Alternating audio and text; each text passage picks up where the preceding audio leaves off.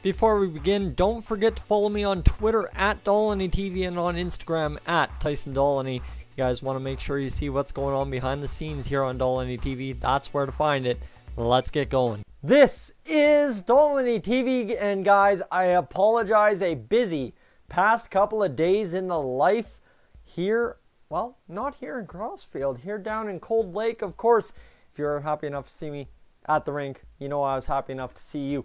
Either which way, we get back to the Edmonton Oilers franchise mode today, and we start off in the AHL because there's a couple of things I mentioned in the last episode. Right at the end of the last episode, I was starting to question Ethan Bear.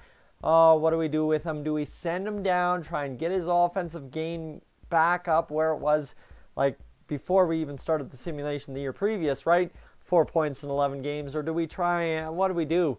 So Caleb Jones will remain down in the AHL. What I'm going to do to try and upstart his offensive production is pair him with our big old prospect, Evan Bouchard, right? Big guy. Peyton Krebs kind of taking over that standard, but that's all right. Two goals out of Caleb Jones, so we'll see what they can do. That being said, on the special teams, Jurabek Bouchard, Jones on the second unit. We're going to move Jones up with Bouchard and see what they can do to generate that offense on – the big power play. Trenin's going to be up there. Actually, Malone's not doing too well. Maximov, 14 points. Trenin's had 21, right? Like, we're not going to discredit Trenin at this point, that's for sure. Starting lineups look pretty damn good. Eggenberger, Gambardella, Trenin, that's kind of what we've been rocking all year. Eggenberger having a fantastic year, and he's up to a 75 overall. Big thing you need to be aware of, Artem Ovechkin slots in for the first time all year. Just we want to get more of a scouting report on him and defensively as well. Brett Crowder, our American pick with that low elite potential, is coming in. Big question I have for him what's his defensive awareness, right? That's what we need to figure out. In the NHL, obviously, Ethan Bear sticks up. He's going to play with us, Oscar Klefbom. Why? Because I want to see what he can do. Starting lineups are going to be pretty much similar, except for what we've done is kind of reshuffled everything right, left, right, right? Bjorkstrand, who has put up 24 points so far this season on only the third line. He's only played the third line this year. We're giving him a shot on the top line. Puljujarvi, he's put up 27. He's played well with Draisaitl. Johansson's put up 34, so we're happy with him. And Kailer Yamamoto's put up 33, so we'll move him down to the third line. See if he can't spark Caggiula, who's put up 14, and Strome, who's put up 17, right? Dynamic scoring. We already had that as an episode for sure. So defensively, everything looks good. Special teams, Draisaitl, Puljujarvi, McDavid. Yamamoto on the first power play unit with Klefbom, and then Nuge with Bear, Johansson, Stroman, Bjorkstrand on the second. I think that's really going to help us. So we're going to get five games in. I'll show you kind of the stats I'm looking for out of these boys, and then we'll see what we get going. Draisaitl leading the way with 35 points in 37 games. He was a point above at one point this season, so that was pretty promising, but unfortunately it didn't stay that way. So two division foes, and then we hopefully take some big W's. 5 nothing win. There you go. That's a huge one. 4 2 loss. That's a tough one to rebound from. And of course, we lose the next one. 2 nothing. Just the losing has just been a tough part this year. 5 3 win, right? We go win big and then lose big, right? 5 4, not a bad one. But all of a sudden, we're 21 20 and 2. That's a tough pill to swallow. Draisaitl continues to do his thing. We're in the fifth spot in the Pacific Division. 41 points in 43 games played. Johansson with 40, Yamamoto with 37. So he's been good. McDavid? Eh, not bad, leading the team in goals. Nuge with 34. Puljujarvi, Bjorkstrand up to 29. Right now, Bjorkstrand getting it done. Strome with 20. Caggiula gets two more points. Like things are kind of turning around for this team. And Ethan Bear now with one point still, minus four. It's just been tough, boys. It's just been tough. And goaltending wise, Looks like our goalie's kind of got rocked a little bit. Yeah, you see Korpisalo, he's, he's a 500 goalie. We can't really count on him to win us a lot of games, but we're hoping he does, right? That's kind of the point of signing him. And we're allowing, how many goals against? 2.53. So we have a 3.35 spread. That's not as bad as I think. Best power play in the Pacific Division. We're lethal, but the problem is our penalty kill is still suffering. Second worst in the Pacific Division. We need to get back up into that high numbers, but it's been a been a tough year. We've only been time short-handed.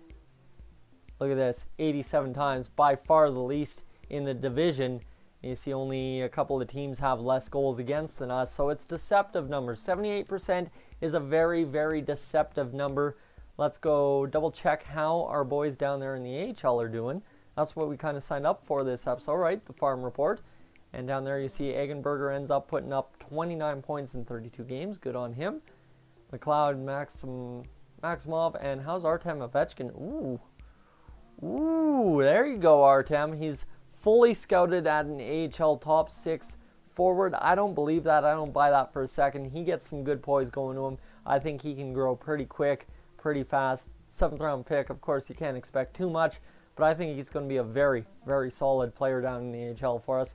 And Crowder, 48 overall, low elite potential. This kid's going to be good. Minus two, 16 minutes time on ice, so we got to let him just, uh, just develop away and get Keegan Lowe back in there. You get Kulovich or somebody else. You know what? Let's give Salzer the time and see what Salzer can do for us. He's low top four, so we got some very good picks in the sixth round there with Salzer. So we'll see what he can do. And we'll let things continue along as we go into, what is this, game 48-50 for us this season. We'll see where we sit at the 50 game mark. So Dallas, Montreal, Calgary, Detroit, Florida. Let's go up to this game against Vegas. That's going to be a huge game, so we need to figure out what's going on there. 3 nothing loss. We're just getting shut out a bunch this season, but we still have a lot of goal scoring, that's for sure. 3 1 loss, another one goal game. 6 5. There's the offense all of a sudden returning, right? Dallas, Detroit beats us 2 1, 4 2 loss, and we are just getting hammered on by teams we shouldn't really not be losing to realistically. I mean, yeah, sure, Detroit's pretty good. We beat Calgary in a shootout, that's for sure. I don't know what to figure out about this. We're three points back of fourth, five points back of third in the playoff spot, so it's been tough. We are having a weird season, that's for sure. So I think, you know what, what you do, Nuge with 36 points, but Draisaitl, you know he's having the season he's having. So let's click it. Seriously, get it clicking. McDavid only 37 points, that's going to be a problem. 30 points for Bjorkstrand, so let's move Bjorkstrand down and get Yamamoto, who's had 40 points up and see what that does with Draisaitl, McDavid, and Yamo on the top line. What a top line. Bear, he's had two goals, one assist. He's been good, but he is struggling mightily on the back end. You see Nurse is still pairing away, so we'll get him with Larsson. See what Bear can do. I think I like it. I think I like it a lot. We'll see what these line combinations can do. We're not giving up as many goals as you'd think, right? That's been the question. Not as many goals as possible. We could be losing a lot worse, right? You look 3 0, 3 1, 2 1, 4 2. Yeah, sure, we've had some shaky goaltending, but I'm going to make of it what I will, and I'm not going to be too concerned about it. Vegas, what do you got for us? Well, Johansson, a fourth, and Zack Kassian for two second rounders. Johansson's way too valuable. We got to decline that trade, that's for sure. 3 2 win. Okay, the top line probably helped there. Go to view, draft class, see what we get. Still don't have the top guys scouted, that's for sure. Alexis Lafreniere, we know he is fully scouted overall this year. Schultz, we don't have him scouted. Medium elite in Fritsch. Gamble, fully scouted. Deschamps, looking good.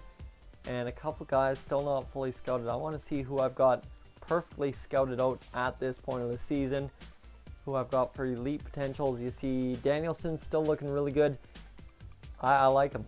I like this kid a lot, so we're going to go to player info. And I can't scout him from here, so we'll just pin him. Uh, Lafreniere, Frisch, Gamble, Primo, um, we'll, we'll watch list him. Anyone else we really have to watch list? How about Molmstrom?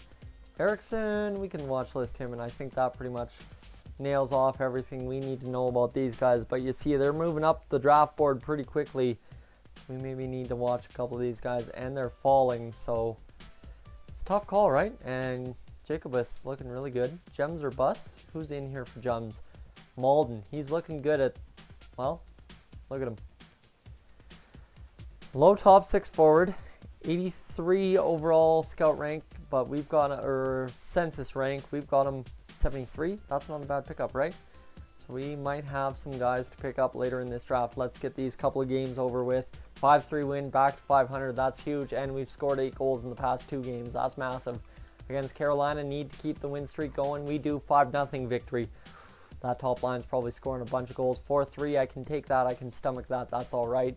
Division opponent in the Canucks need to win 4 of 5 on this.